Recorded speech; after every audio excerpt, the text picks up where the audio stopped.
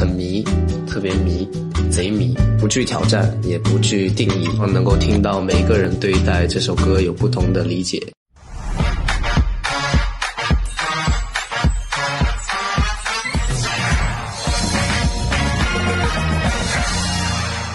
Hello，腾讯视频的朋友们，大家好，我是蔡徐坤。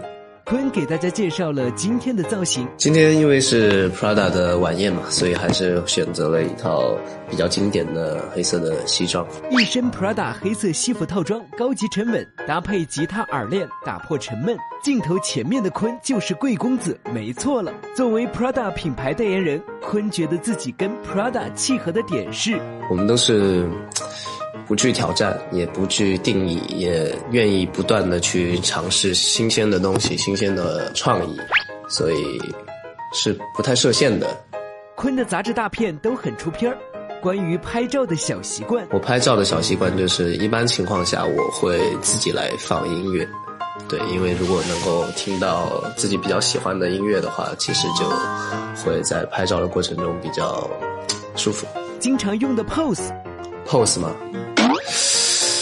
呃，取决于拍什么样的风格吧。对，基本上我觉得没有 pose 就是最好的 pose。坤这么帅，确实不需要 pose，只站在那里就是养眼的存在。坤最近发布了新专辑《迷》，如果用三个词来形容，形容一下迷吗？很迷，特别迷，贼迷。作为一位歌手，坤希望。我是希望歌曲能够留下来，也希望大家在听到歌曲的时候能够有不一样的感受吧。不仅仅是听完了一首歌，更多的是你可能会有一些画面感，读懂其中的一些想要传递的故事给到大家，和或者一些呃想法思考。昆曲 KTV 唱的最多的一首歌是什么？比较少，但如果去的话，一定要唱《情人》。但现在要加一首迷。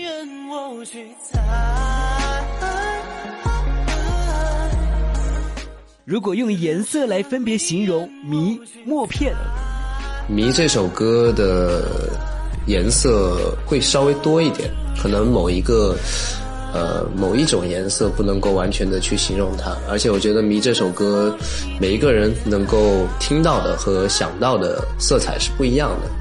这也是为什么专辑的概念叫做“迷”，我觉得可以留给大家去有自己的想法和理解。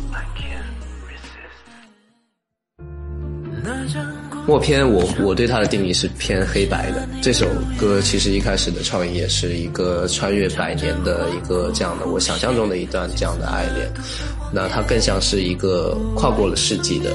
你听到的，不管是一张老唱片也好，一个老的默片的一个这样的电影的感觉，它更像是一个黑白的质感。